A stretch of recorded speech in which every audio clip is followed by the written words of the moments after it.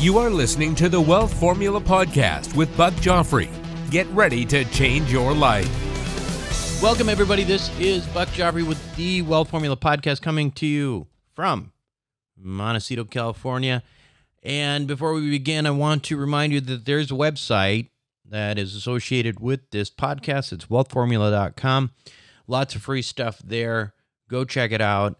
Uh, also, it is where you would sign up for our accredited Regulation D investor group to learn about deal flow, etc. You must be accredited to join, but if you are accredited, uh, you may want to get off the sidelines, especially after hearing today's podcast interview that we're going to do.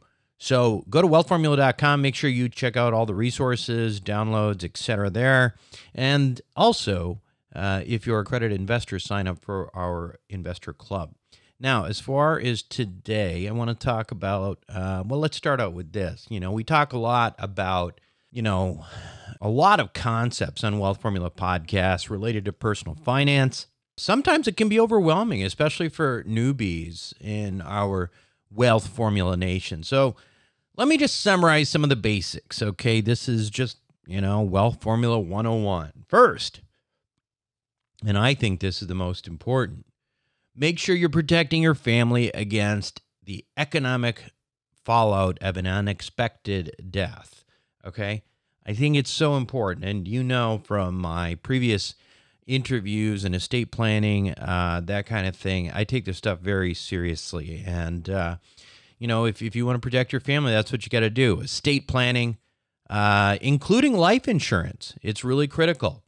Uh, as far as life insurance, uh, you may know I'm a firm advocate of cash value life insurance, such as Wealth Formula Banking. If you don't know what that is, go to wealthformulabanking.com.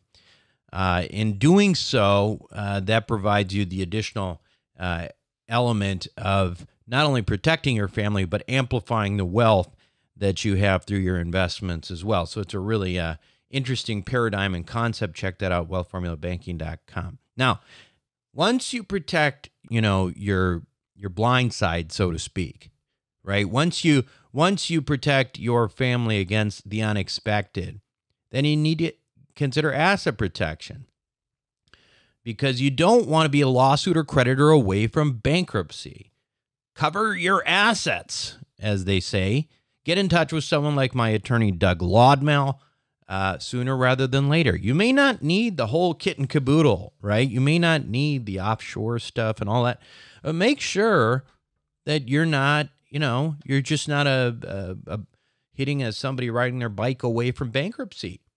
Now, finally, the Wealth Formula Ethos Basics 101 is to invest in real assets that not only make you money, but also mitigate your tax burden because it's not just what you make, but it's actually what you keep.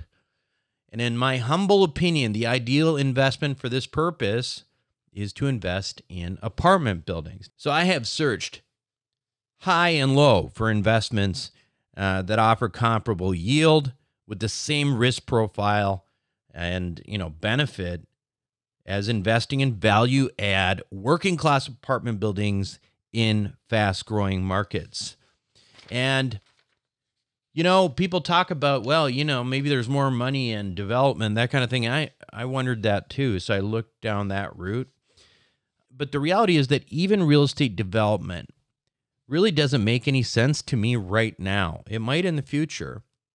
You know, the yields are really no better, at least in the apartment building space, than what I'm getting on value add apartment buildings with a fraction of the risk. And those of you who are in an investor club, uh, know what I'm talking about.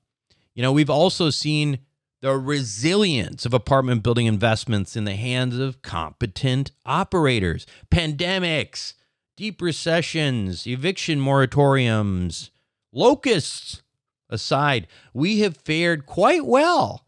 And investors are seeing that firsthand. And now we're out of immediate danger and the economy is growing at an incredible clip. I remember seeing I think last quarter it was like 6.3% or something. Don't quote me on that, but it was something that was like, whoa, that is really, really significant. Why? Fiscal and monetary policy combined with pent up demand for goods and services. That's what's creating the economic boom that, in my opinion, will be the second coming of the roaring 20s. This is the 2020s on and and they're going to we're going to look back and we're going to call this the roaring 20s again. You see, I believe we are just at the beginning of one of the best times to make money in decades uh, in the United States. And and and I'll tell you what, uh, in an upcoming episode, you're going to hear me talk a lot uh, about why I am so bullish on the United States and why I think it's downright silly to be talking about investing in, you know, other countries and the third world and the Caribbean and all that. It just doesn't make any sense to me. But I also believe that people who invest as much money now, now into real estate uh, as they can will be very, very happy uh, in a few years if those properties are improved and managed competently, which is really, really key. You know, on the contrary, on the other side, sitting on the sideline is pretty much a guaranteed way to lose money. Why? Well, you know what? I talked about the uh, fiscal and monetary policy. Um, that's a lot of printing of money. Along with that real economic growth, we are also going to see some significant inflation that becomes part of that GDP growth. And your money in the bank is therefore guaranteed to lose money. Now, for again, for those people who are new, why am I saying that? Because what is your bank going to give you? Less than 1%. Now, inflation, if it's going at 3%, that means you're guaranteed to lose money if you keep money in the bank, right? So if you want to have liquidity, maybe think about some of these wealth formula banking concepts or whatever. Uh, but man, money in the bank, eh, a lot of money in the bank, more than just your basic stuff right now um, is pretty much a guaranteed loss. And if you want to lose money for sure, then that's what you do. So if you're an accredited investor, uh, you are going to start seeing um, the result. You're going to start seeing us pick up significantly in terms of our acquisition rate within our investor club. Why? Because of everything I said. It is go time. That is my opinion. It is absolutely go time. And of course, you don't have to take my word for it, just my word for it. I highly recommend not just taking my word for it, but to help you understand why I feel the way I do. I interviewed uh, my friend and um, uh, partner, Dave Steele, who's the co founder and principal um, of Western Wealth Capital, along with Janet LePage. Dave is uh, anybody who's met him. He's just an extraordinary guy. He's been in real estate for three decades. I met him ultimately through a connection advocated by Kenny McElroy, who I also have a lot of respect for. And Dave has been an extraordinarily prescient individual when it comes to his forecasts in the economy and real estate. So, if you want to know why I think it's go time, make sure to listen to this week's interview with Dave Steele when we come back after these messages. Welcome back to the show, everyone. Today, my guest on Wealth Formula podcast. Well, he's no stranger to our group, to Wealth Formula in general, or especially to our private investor group, our investor club. He is, of course, Dave Steele. And as you know, Dave is the co founder and a general partner of Western Wealth Capital. However, his accomplishments go way back before that. He's been one of Canada's top real estate entrepreneurs for 30 years. Accomplishments include being Entrepreneur of the Year one year. I remember Dave. I know it's not even listed on your bio, but I think that's kind of cool. Uh, he's also led a publicly traded real estate company. He's its CEO and, and has really, uh, you know, led several major developments across North America. Dave, uh, it's great to have you back on the show. Well, thank you, Buck. Always a pleasure. So let's see. Where do we start, man? I mean, geez, this has been a crazy year.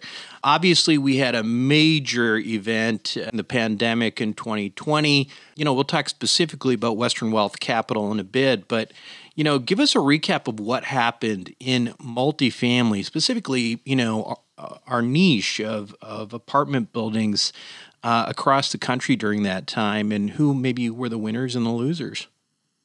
Well, you know, it's interesting because as I was thinking of this, I thought the very first thing that came about when the pandemic hit, we had a property under contract in Houston. And yeah. as a company, we had a million dollar deposit, hard deposit up to buy that property. And we had all the money raised by the investors.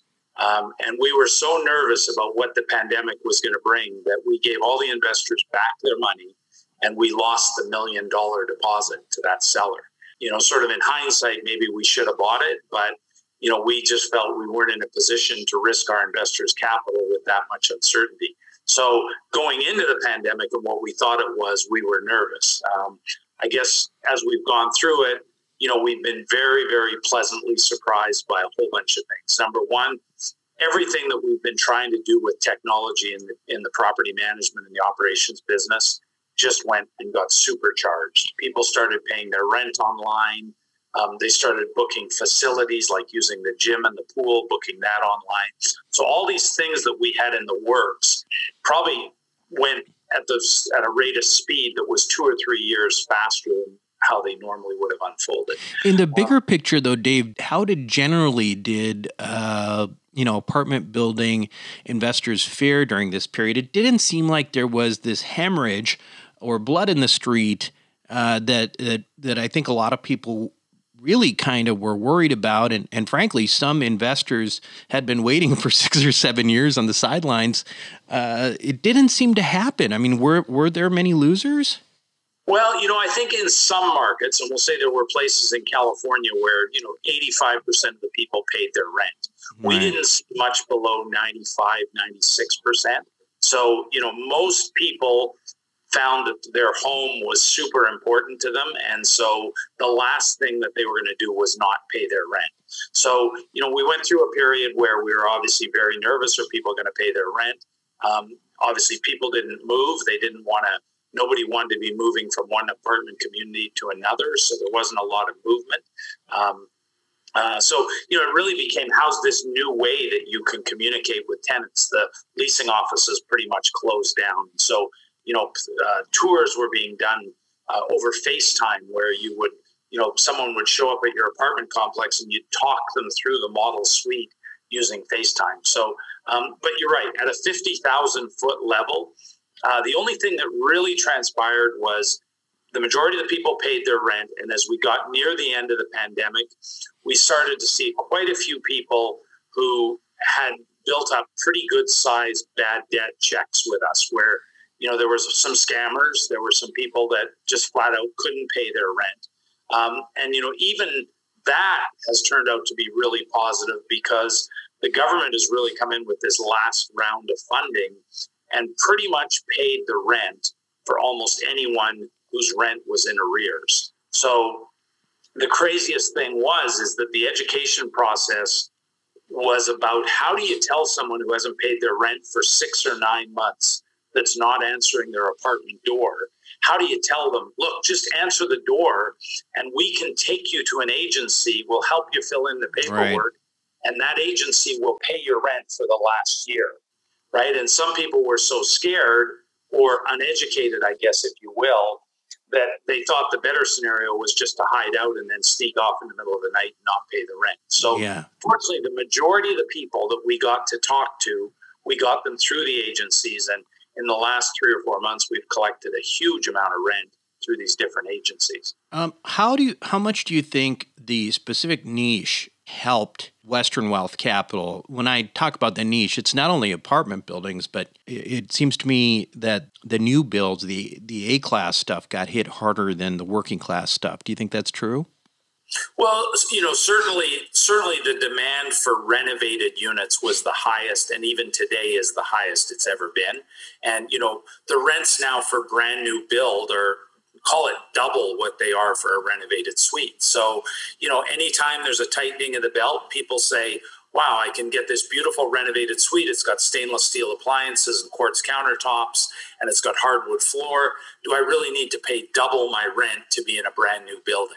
And so, so clearly during the pandemic, the renovated suites were in demand. And now, as we're coming out of it, um, you know, there's so many people moving to these various cities now that that the demand for renovated is even higher. It's like we're trying to figure out how you ramp up the renovated even more because that demand is just it's just insatiable. So this was an unusual crisis and it was a recession. I mean, the the asset prices however, strangely enough, didn't substantially take a hit across the board whether it's, you know, stocks or real estate. And now we're kind of out of that, right? And in fact, I think uh, the last uh, you know quarterly GDP report I saw was uh, like 6.3 percent growth in the U.S. And clearly, so the recession is over. Presumably, there is some inflation out there too. And again, people were waiting on the sidelines, waiting for prices to crash, but nothing really happened. So, given that, really, you know, I mean, this has got to be in your you know your career, you know, over spanning three decades a really unusual scenario to have had sort of a low point in the mark, you know, low point in the market that really didn't turn out being a big downturn really for asset prices or performance. So, where do you think you're headed or we're headed as a real estate market over the next few years given this sort of, you know, unusual situation where there really wasn't a correction? Well, I you know I think the fundamental thesis of our business is that the United States needs four and a half million new apartments over the next decade, twelve years. So they need about three hundred and fifty thousand new apartments a year, right? Mm-hmm. So, and long before the pandemic hit, the US was not producing enough new apartments. So these cities where the people are moving, the Dallas, the Phoenix, the Atlanta, uh, the Las Vegas, these cities where people are moving, they need a lot more new apartments. But going into the pandemic, they were already way behind. So if they were supposed to be building 350,000 a year, they only had construction capacity to build, say, 300,000. So every year, the gap just kept getting bigger and bigger. So now you roll in this pandemic, and all of a sudden the new construction went way down, right? People mm-hmm. weren't comfortable being on construction sites, lenders weren't comfortable lending money. So this gap of new construction hasn't gone away. The people haven't stopped moving to these places, but the, the new building hasn't gone away. Yeah. So if you own existing multifamily real estate in the right markets, fasten your seatbelt because we're in for a tremendous period of growth. Um, and you're in for a tremendous period of rent growth, particularly if you've got the ability to renovate the suites, because too many people are moving to the cities. The, the new apartments that should be being built to meet the demand aren't being built. And so the only way to fill that demand is with existing supply. And that just means we all get to charge more rent. All right. So we've got, you know, presumably we're headed for significant rent growth. You know, I get this question a lot though, and I want to I want to get your feedback on this because I always answer it and I want to see your perspective on this. Interest rates, you know, can they be lower than they are now? I guess they could be. I mean, you were one of the few people who I think a year ago uh, before the pandemic was actually saying, "Hey, look, uh, you know, compared to the rest of the world, we're actually pretty high, right?" But these interest rates are obviously a big part of what's driving down um, cap rates. Cap rates continue to compress and people will continue to get nervous and you've got a lot of people out there who have been you know beating the drum for really for years about how these prices can't get higher and these compression you know these cap rates are compressed so much. So why shouldn't we be worried about that dave well i think we probably should the question isn't should we the, the real question is when right? I mean, I mm-hmm. think we're going to have a significant period of strong inflation.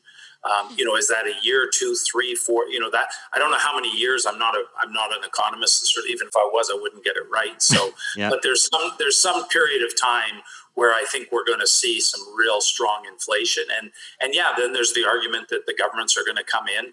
Um, but again, you know, the the driver in the markets that we're in the driver in the markets that I would say that Western Wealth is in, and what I would tell you as an investor that is a good market to go in, the driver is there's not enough new construction going in there. And so as a result, you're going to, you, there's a natural increase in the price that has to happen with the older stock to, to get up to a price closer to what new construction is. And that means the rents have to move correspondingly. So there's certainly some period of time down the road where we should all be we should all be a, a little more nervous. Um, but you know, I think we're very very early in this stage of growth, of value growth, and of rent growth.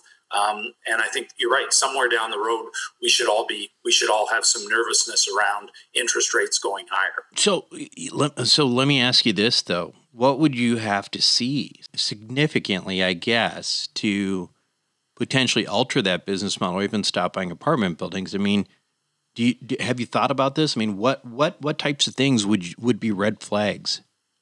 Well, you know, I'll give you an example, Buck. We're, we're I've been in the real estate market in Canada for 30 years. So in Canada and in a lot of the larger cities in the US, there is no more ability to buy older product and renovate it and fix it up on any scale. Almost every major community has been acquired and has been renovated and has been brought up to brought up to standard that would be a rental standard, right? Now, the uniqueness in the markets that we're in in the US is that there is still quite a lot of product that, that as you know, we call classic product, right? You walk inside, it's got the turquoise toilet and the shag carpeting, and you go, wow, it's got the orange, it's got the orange and yellow fridge and stove, and you look at it, you go, wow, somebody needs to renovate this. So, so you know, the the point I believe where you will say, hey, there, there's no more real room to do this is the day that there's that there's no more of that product to really buy and renovate. So, right. um, and you know, in the markets we're in, the good news is there still is a fair amount of that product that to buy. It's certainly not as available as it was three years ago, but it's certainly not anywhere near the point it is in in more mature cities. And and when it gets to that point in more mature cities the business model typically shifts and what people go into is they go into building brand new rental units. Because the only way to then fill that demand hey there's still lots of people moving here how do we fill the demand? The only real way to fill the demand is to build brand new. Let's talk a little bit um, you know obviously we've been sort of assuming up to this point that everybody already knows everything about western wealth capital and all that just because the you know we've we've been, we've we've talked together many times. Many people are in the our private investor groups and stuff like that. But let's let's talk specifically about Western Wealth Capital. Tell us about the business and what you've been able to accomplish. What what makes you different? All that. Well, okay, um, so seven years ago, I partnered up with Janet LePage. Um, again, many of the people on with the Wealth Formula have met Janet. Janet's a computer scientist, uh, incredibly bright analytical. Uh, and there's nothing in our business that Janet doesn't put into a model and run through an Excel model to determine, uh, you know, how it works in the model. So um, so you know she came to me and said she'd been buying and flipping single family homes seven years ago down in phoenix. She said dave there's an opportunity to buy to buy apartment buildings. Um, she walked me through the model. I said wow this is this is amazing. I didn't actually even believe that the model was available because we'd been doing it in phoenix 10 years earlier. Um, and uh, we did we did our first couple deals, uh, and since then we've done 92 properties. We've acquired, along with you know many many wealth formula investors, uh, almost three billion dollars worth of real estate. Um, and you know, collectively, our investor group has raised almost eight hundred million dollars, which again sounds like a big number, but that's with a lot of people putting twenty-five and fifty thousand dollars into each property. Some people putting two hundred to five hundred thousand dollars in each property, but it's it's really sort of tailored so that each individual investor can invest at a comfort level that, that they want in each property. Um, so you know, we went out, we started this formula. We've sold thirty of the deals where we've gone through what we call our full cycle. So we buy them, we fix them up, we renovate them, we move the rents to market, we renovate the suites, we put in washer dryers, we fix up the pool, we redo all the common areas and the leasing, we paint the buildings. And of the 30 deals that we've sold, we've held for an average of about 30 months. And those 30 deals that we've sold, the investors have had an average annual return of 30%. So um, obviously, the investor base is very, very happy. The returns have been phenomenal. Um, and then partway through this process, the lenders changed their program where they would allow us to refinance as we increase the value of these buildings. And as we refinance the buildings, the investors could pull their equity out through a refinance. Um, so, um, you know, we've really refined the system. Our whole business, as you know, is about speed. The faster we can renovate the suites, the faster we can get the appraisals at a higher price, the faster we can refinance, the faster we can give the investors back their money, and they can do it over and over again. So, you know, we have many investors that have taken that fifty or a hundred or two hundred thousand dollars, and they've recycled it now with us several times through the process. Um, so, you know, it's a complete formula. It's repeatable. It's scalable. Uh, it works because it's a formula. And, um, you know, we go in and we look for a very specific type of building that, that meets our criteria. And when I say our criteria, as you know, Buck, the criteria meets is it goes through Janet's model right. and it literally becomes a black and white decision. If it doesn't work in the model, we just simply don't buy it. So we don't move very much on what we project in terms of rent growth. You know, we're I think we're going to see markets this year that well, Atlanta as an example, we're going to see Atlanta go up 10% year over year rent growth. Yet in our model, we put in a 4%, 4.5% rent growth. So so we don't we don't take the year or two or three where we're seeing these phenomenal numbers. We sort of build it very formula formula based um, and you know, it's the formula works, and uh, it's generated just spectacular returns. So, so it's it's a value add model, and basically working class apartment buildings. We're not talking about you know D class. We're not talking about the A stuff. We're talking about working class stuff. Do you think you know what I tell people when they ask what what the main difference between Western Wealth Capital uh, and other value adds. Um, I have tended to say the the focus on on speed and processes. Uh, do you, do you think that that's really the main uh, difference between you uh, between Western Wealth Capital and other uh, you know operators? No question, and you know, as you know, you, you know, you've been on a, several of the tours that we've done where we've had you know 50, 75, 100 uh, potential investors and clients come on the trips to Dallas and to Phoenix. And, you know, we do a day long bus tour where we take people and we show them the building we're about to buy, a building we closed on six months ago, a building we closed on a year ago. And people get off the bus at the end and they go, Dave, we just, we can't believe what this building what it was and what you turned it into. It's it's almost like watching one of those home decorating TV shows where you can't believe yeah. at the end that, that it is. And again, you know, we, we have an iPad app that we're just finishing right now for our wow factor. And when our acquisition team walks through a building, we only paint a building one of three color schemes. We only put a signage package of one of three signage packages.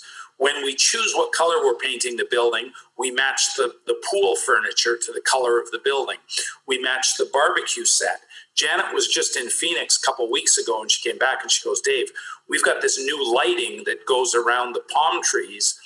And they spent a half an hour on the on the property deciding should the lighting that goes up the palm tree go up a third of the height of the tree or a half of the height of the tree. Because once we do it, it's fully standardized. We don't do it one way on one property and another way on another property. So again, it just allows this this repeatability because you're spending all your time executing and not all your time designing. And so, you know, when we renovate a suite, when we go into that suite in Atlanta, we use the same flooring, the same lighting, the same plumbing fixtures, the same countertops as we do in as we do in Phoenix, as we do in Dallas, as we do in Houston. So when you go through a property, there's a full standardization. And and so all of those things what they really mean is we're not thinking through every time we do a property what we're going to renovate, what it's going to look like. It's already pre designed, and that's where you really get the speed. Because, in simple terms, every time I get a $150 rent increase, I'm getting between a thirty and a thirty-five thousand dollar increase in the value of the property. So if I can do five a month at thirty thousand, my property goes up by 150 grand a month. If I can do 10 a month, then my property goes up by $300,000. So the math is very, very simple. How do I build the model to get to 10 a month on my renovations so that as a tenant moves out, I renovate it and I and I get that rent bump which translates into the value increase. And so, one thing a lot of investors like is that every every month we put the financial statements up on their portal so they can go and look and see each financial statement on each property. And people come back and they go, Dave, I can't believe it. The rents have moved so rapidly in the mm-hmm. 90 days since you took over the property. And it's because we're just going through the same streamlined process on every property. Yeah, and I think that's a really uh, that's a, that was a real eye eye opener for me too because I think you know as as real estate investors who are used to looking at pro formas, you know, you always got your uh, three year, your five years, uh, and you never really think about this whole concept that yeah, but what if you could do all these things they're saying on this pro forma in half the time? right? Then then then you're doubling returns. And that's effectively kind of the been the secret sauce, right? I mean, it's been able to, you know, execute um, and do good work. Like there's other good operators out there, but to do it profoundly fast. And that's not just because you want to get it done. Of course, you want to get it done, but that affects returns. And it seems so basic, but it is but it's uh, it's something that I don't think a lot of, of operators actually uh, think of much. Um, you know, you know, it's yeah. really interesting, Buck, because if you think about it, most people that own real estate own it and they have a full time job, and off the side of their desk, they're renovating a suite, and they don't really think, well, I have six a six unit building. Boy, if I could renovate them all in the first month, what would happen to the value of the building? They just sort of renovate them as they go. We have a completely different view of the world because we're making widgets, and our widget is take a classic unit that looks like it was occupied in 1994, which it is. Now go in, renovate that suite, get $150 for the rent, get $50 if you can get them to take a washer dryer. And the washer dryer, we simply put a flyer underneath the door that offers everybody the option to have a washer dryer put in their unit. And if they say yes, the following Tuesday, we deliver them a washer dryer to their unit and they start paying $50 more per month.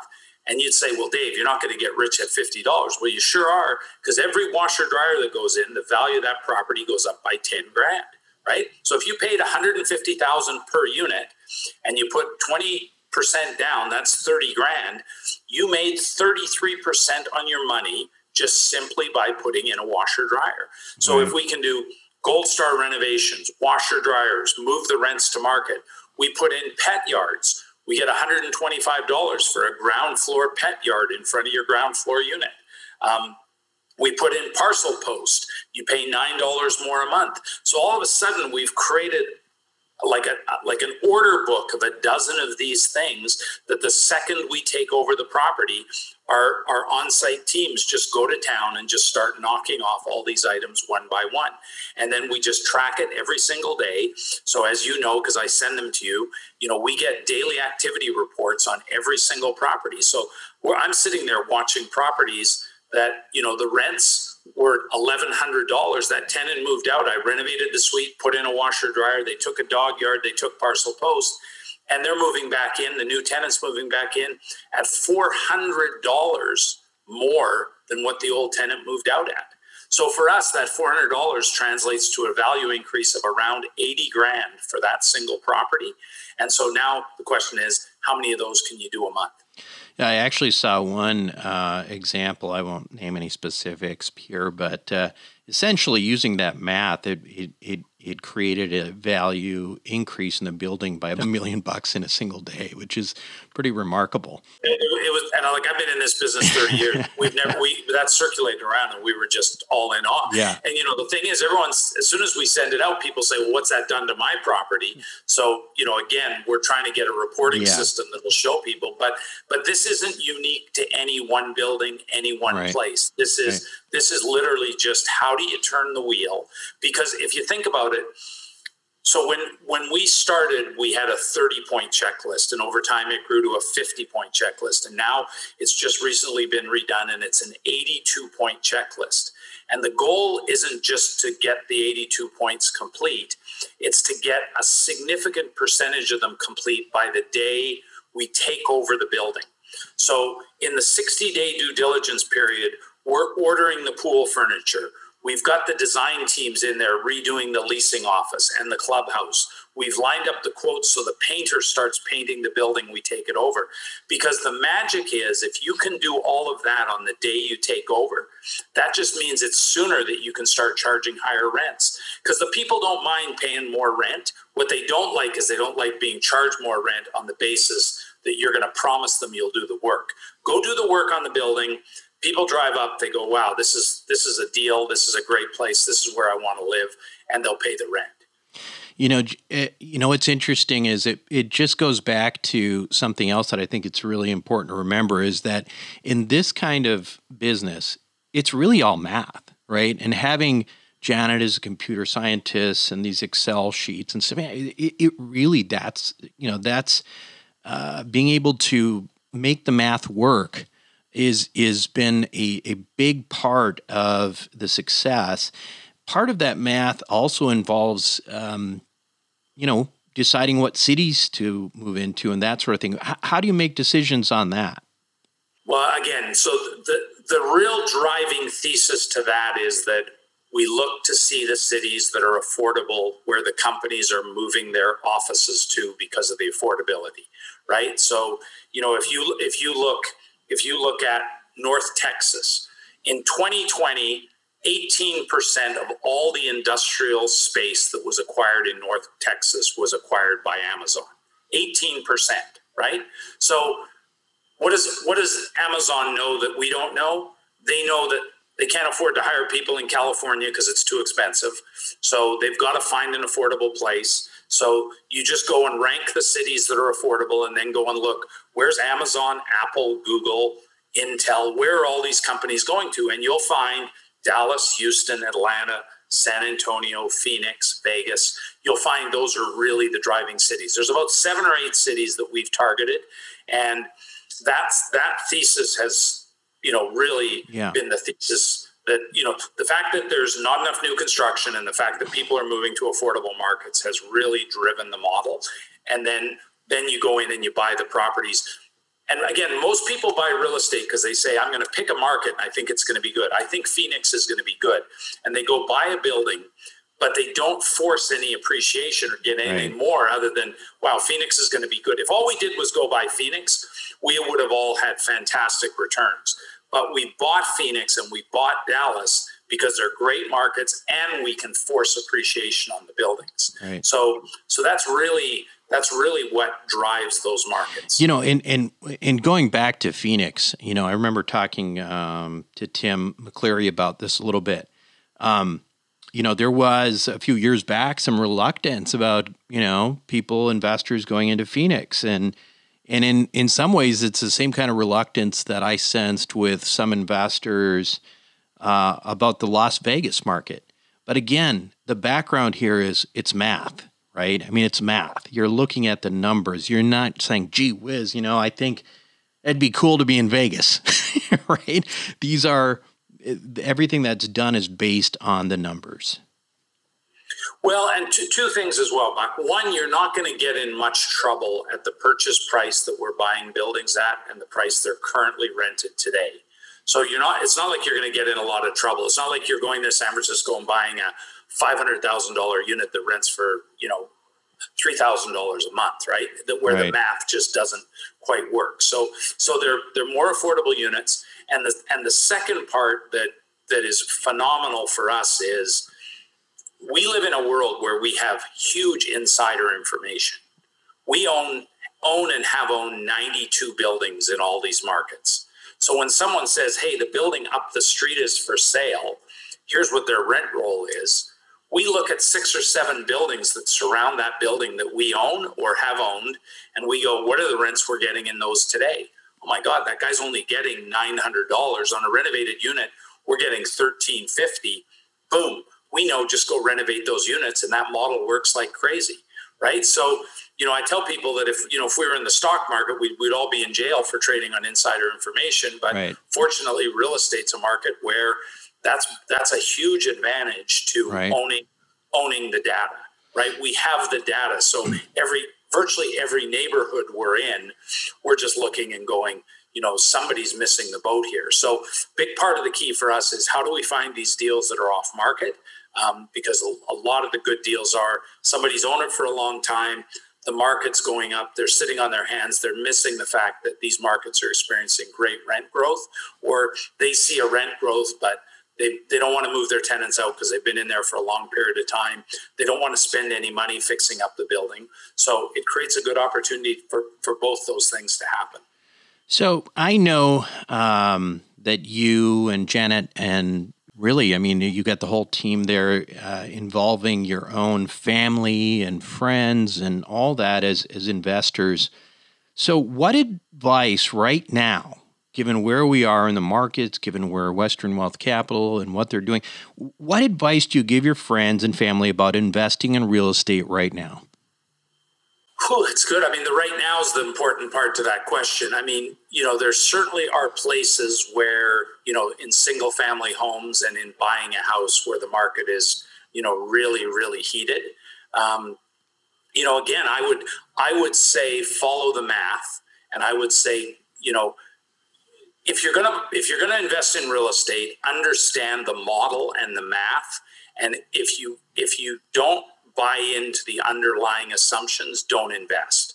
But the real basis today is that you know the next several years in my mind in multifamily we are going to see we are going to see a period of time where we get to make up for the last 18 months where yeah. uh, you know where it was you know we rode through we rode through a tough time but we were i tell people we were we were one of those very lucky businesses through a tough time you know, owning apartments and investing in Amazon, those are two great places you could have put, put your money to get through this.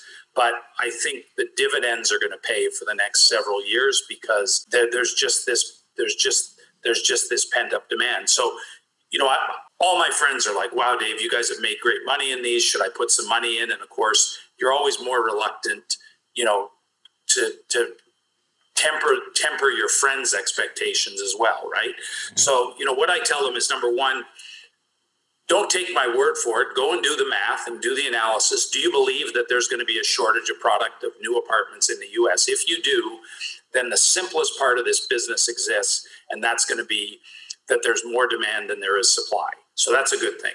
Number two, do you believe the thesis that these big companies are moving to these cities? Because that's where you're going to get the tailwind of growth. That's why Vegas is projected to grow at 6.3% a year for rent growth for the, each year for the next three years. So, so if you believe that, then getting involved in a piece of real estate where you have that tailwind. And then number number three is really understand how the math works to get the return. And as you said, in the value add model, there's just a huge ability to force that appreciation. So, so to me, it's very methodical. It isn't. You can take a lot of the emotion out of it. Right. Um, and you know, I'm always reluctant. People say, "Dave, you should put your money into this. This is the greatest thing in the world." And we've all seen those deals. But you know, at the end of the day, I always go to what are the base assumptions? Do I believe in the base assumptions?